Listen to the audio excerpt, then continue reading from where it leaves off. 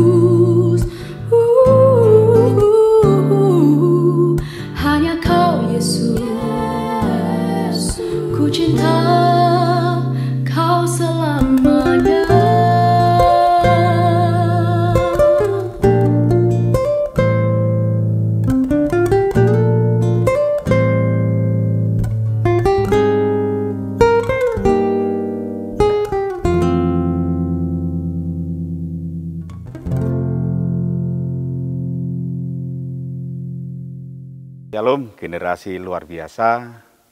Bersyukur sekali kita bisa sama-sama belajar kebenaran firman Tuhan sekalipun kita dipisahkan oleh tempat tetapi kita dipersatukan di dalam kasih Tuhan Yesus Kristus.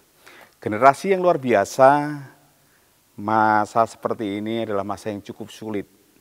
Masa yang kalau boleh dikatakan banyak orang mulai kehilangan arah, kehilangan tujuan. Bagaimana tidak bahwa dalam kondisi-kondisi seperti sekarang ini, di masa pandemi, terlalu lama orang berdiam diri, sehingga bisa saja berkata, aku bisa berbuat apa? Dengan tema pelipat gandaan rohani, saya ingin berbagi di malam hari ini, aku bisa apa? Tapi sebelumnya, mari kita berdoa. Bapa dalam kerajaan surga, kami bersyukur untuk kasih anugerah yang Tuhan sudah berikan dalam kehidupan kami. Sampai saat ini kami ada sebagaimana ada oleh semua karena kemurahan-Mu. Kau mengurapi hambamu, Engkau mengurapi setiap orang boleh melihat, bersama-sama dengan kami dalam program ini. Kami tahu Tuhan, kami ada dalam satu generasi yang luar biasa.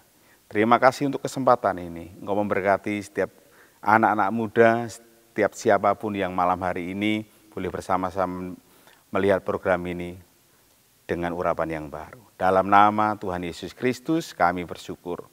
Haleluya. Amin. Generasi luar biasa, Sebelum saya membahas aku bisa apa, kita akan sama-sama belajar kebenaran firman Tuhan.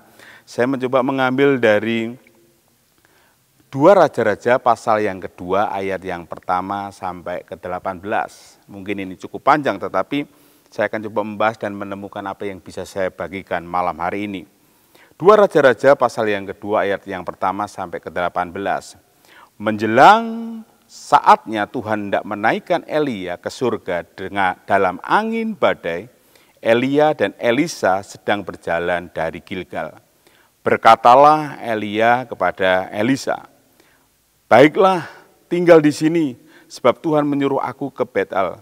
Tetapi Elisa menjawab, "Demi Tuhan yang hidup dan demi hidupmu sendiri, sesungguhnya aku tidak akan meninggalkan engkau." Lalu pergilah mereka ke Betel. Pada waktu itu keluarlah rombongan nabi yang ada di Betel mendapatkan Elisa. Lalu berkatalah mereka kepadanya, Sudahkah engkau tahu bahwa pada hari ini Tuhanmu akan diambil daripadamu oleh Tuhan terangkat ke surga?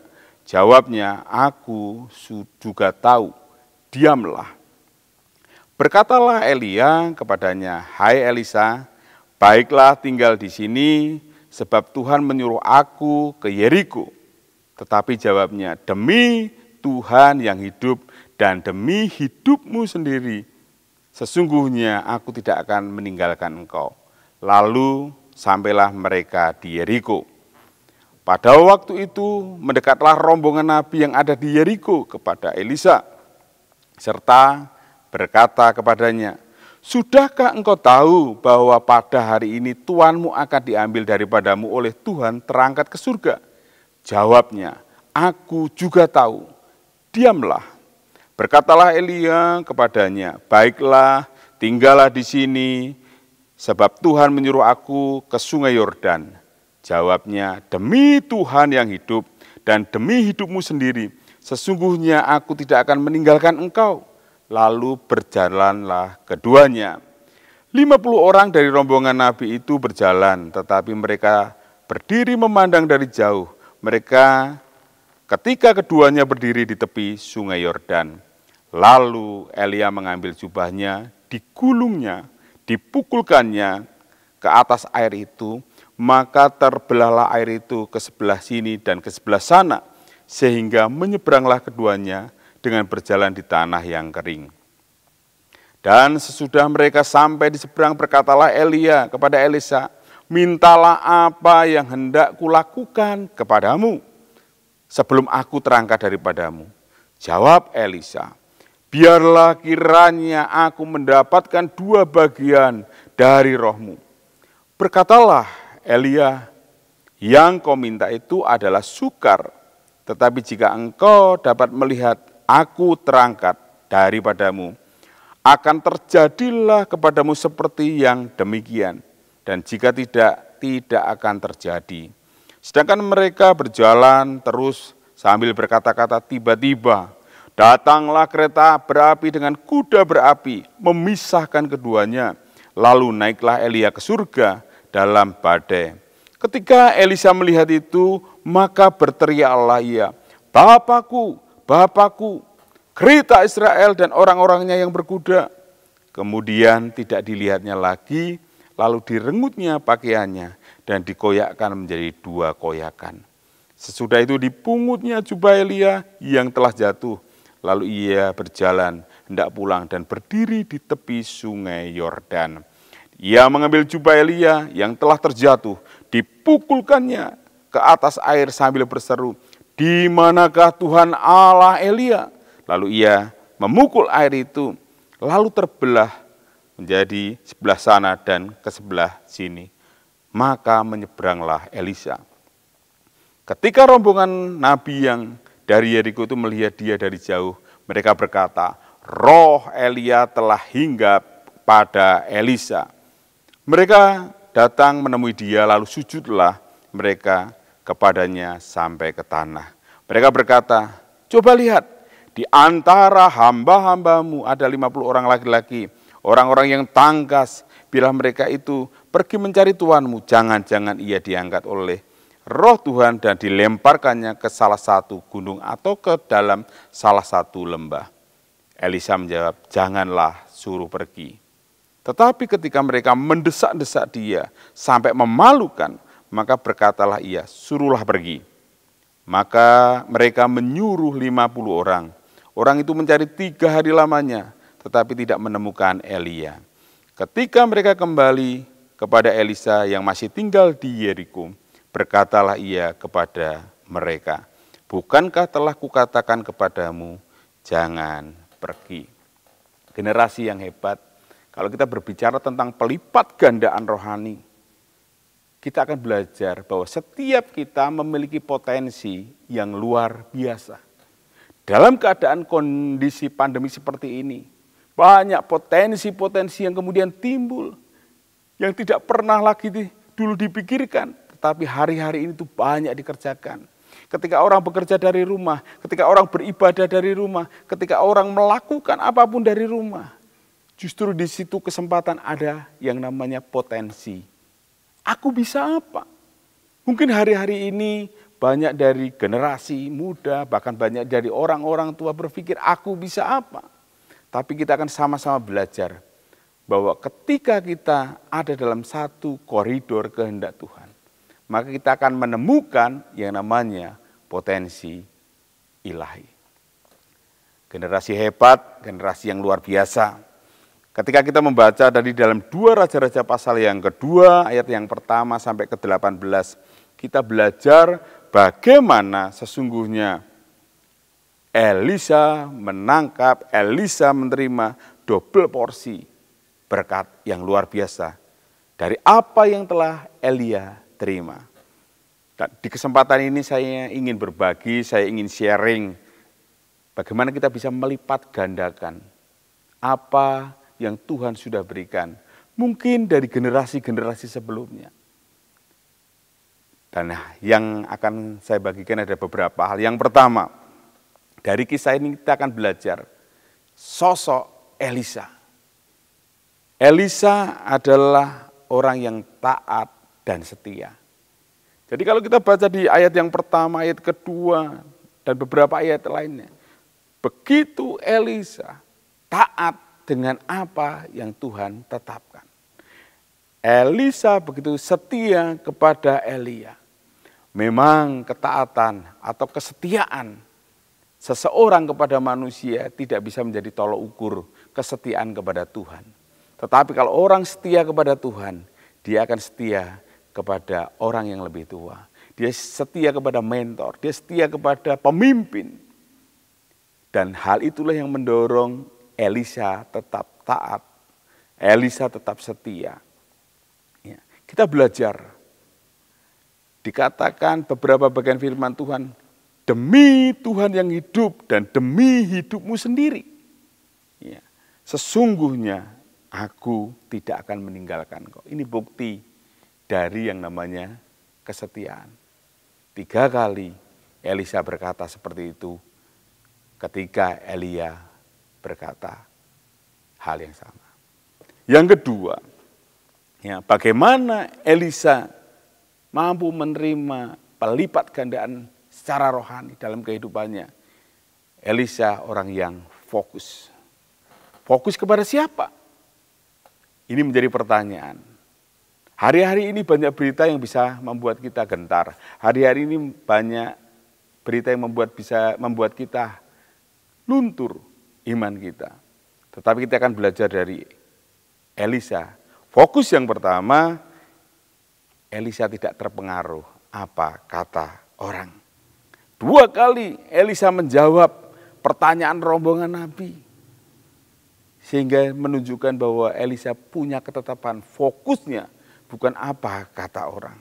Yang kedua, fokus apa? Bahwa Elisa tidak sekedar menunggu, tetapi juga memperhatikan. Banyak orang hari-hari ini hanya white and see. Ya, tunggu dan lihat. Tetapi Elisa melakukan apa yang menjadi bagiannya. Banyak orang tidak lagi mau bergerak apa-apa. Nunggu segala sesuatunya aman generasi hebat. Yang ketiga, yang, yang pertama tadi taat dan setia, yang kedua fokus, yang ketiga memiliki visi yang besar. Di ayat yang ke-9 berkatalah Elia kepada Elisa, mintalah apa yang hendak kulakukan kepadamu sebelum aku terangkat. Jawab Elisa, biarlah kiranya aku mendapatkan dua bagian dari rohmu. Ini berbicara tentang sebuah visi visi yang besar, visi yang ke depan. Tidak hanya ingin melakukan hal-hal yang biasa, sebatas yang sudah dilakukan oleh pendahulunya. Mungkin banyak dari kita sering kali dipadamkan mimpi kita, dipadamkan visi kita. Ketika kita bercerita kepada orang tua mungkin, ketika kita bercerita kepada orang lain, kita punya angan-angan, kita punya mimpi. Dan orang tua atau orang lain berkata, sudah tidak usah terlalu banyak berkhayal. Tapi visi besar dalam hidup ini penting sekali untuk membawa kita kepada arah yang Tuhan kehendaki. Maka sebagai generasi yang luar biasa, menjadi generasi yang hebat, milikilah visi yang besar. Hari-hari ini saya menemukan banyak anak-anak, bahkan kalau bisa dikatakan masih anak-anak golongan belasan tahun. Tapi mereka berhasil dalam visi-visi yang luar biasa. Mereka menemukan hal-hal yang sederhana dan menjadikan itu luar biasa. Yang keempat, bahwa ketika kita mau belajar dari Elisa untuk mendapatkan pelipat gandaan rohani, tetap melakukan. Tetap melakukan. Apa yang akan kita lakukan hari-hari ini? Ya, dalam ayat yang ke-13 dan 14 saya akan bacakan Ya, ini menjadi penting bagaimana kita melakukan. Sesudah itu dipungutnya jubah Elia yang telah jatuh, lalu ia berjalan tidak pulang dan berdiri di tepi sungai Yordan. Ia mengambil jubah Elia yang telah jatuh dan dipukulnya ke atas air sambil berseru, di manakah Tuhan Allah Elia yang memukul dan terjadi pembelahan. Dia melakukan, memang dia melakukan seperti yang dilakukan Elia. Tapi lebih daripada itu, dia mulai mengawali dengan sebuah tindakan. Masakan Tuhan yang mengurapi Elia tidak mengurapi dia. Ini yang. Kemudian melakukan hal apa? Melakukan yang harus dilakukan. Banyak orang melakukan yang tidak seharusnya dilakukan. Lihat kisah para nabi-nabi, rombongan nabi yang meminta kepada Elisa untuk mengirimkan 50 orang mencari Elia. Jangan-jangan ini, jangan-jangan itu. Padahal Elisa sudah berkata, jangan suruh pergi. Dan mereka tetap pergi. Memaksa bahkan mempermalukan. Tetapi kita lihat pada endingnya, Elisa berkata, sudah kukatakan kepadamu jangan pergi. Sahabat, generasi hebat, generasi luar biasa. Kita sama-sama belajar. Di masa-masa seperti ini akan muncul satu potensi yang tidak pernah terpikir dalam kehidupan kita. Potensi itu ada dalam kehidupan setiap orang-orang percaya. Kalau kita berbicara pelipat gandaan secara rohani dari kehidupan Elia dan Elisa. Yang pertama, Mengapa mereka bisa begitu sinkron? Karena Elia dan Elisa memiliki panggilan visi yang sama. Yang kedua, karena Elia dan Elisa memiliki roh penundukan diri yang sama. Yang ketiga, mereka memiliki hati yang diurapi, yang sama. Yang keempat, mereka memiliki keberanian yang sama di dalam menjalankan iman. Yang kelima, mereka memiliki iman yang dikuatkan untuk mengalahkan banyak hal. Elia dengan tujuh mujizat, Elisa dengan empat belas mujizat. Bahkan di mujizat terakhir, tulang-tulang Elisa sanggup menghidupkan kembali. Generasi hebat, sebelum saya tutup, share di malam hari ini. Kalau kita berkata, aku bisa apa? Yang pertama sadari, pelipat gandaan rohani. Bukan sekedar berbicara double porsi. Pelipat gandaan rohani, bukan sekedar kita berpikir apa, tetapi berpikir dan bertindak sesuai kebenaran firman Tuhan. Pelipat gandaan rohani berbicara tentang bagaimana kita mengembangkan potensi yang Tuhan sudah berikan dalam kehidupan kita.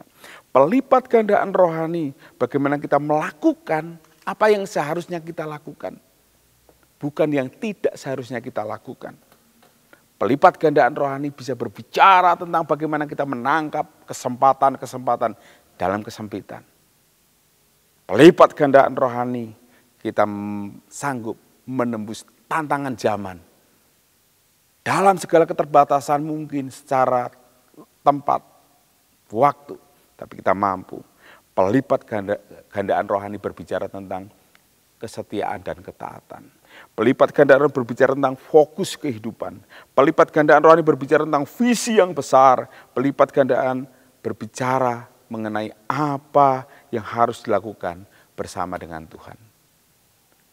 Generasi hebat, tanggap hari-hari ini, lakukan semua apa yang Tuhan kehendaki dan potensi hidup kita akan dilipat gandakan menjadi berkat, menjadi sarana masa penuaian yang luar biasa. Tuhan Yesus memberkati. Mari kita berdoa. Tuhan, Engkau memberkati setiap generasi yang luar biasa, setiap orang yang boleh melihat program ini. Kami tahu Tuhan, kami memiliki keterbatasan, tapi kami mau belajar bahwa ada potensi dalam hidup kami untuk kami kembangkan.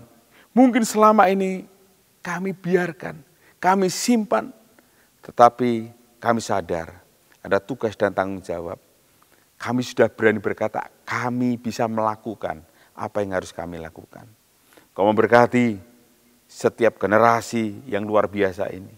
Dalam nama Tuhan Yesus Kristus, hari-hari ini kau akan pakai generasi muda untuk terus menjadi alatmu. Masa penuaian sudah ada dan kau memakai generasi-generasi ini dengan potensi yang sudah engkau berikan. Juga setiap kami, mungkin kami berbagi pada generasi setelah kami. Jadikan kami orang-orang yang siap memegang dan memberikan estafet kepada generasi yang luar biasa ini. Terima kasih, materkan firman-Mu dalam hati dan kehidupan kami. Tuhan Yesus, kami bersyukur. Haleluya. Amin. Tetap semangat selalu, salam sehat selalu. Tuhan Yesus memberkati. Amin.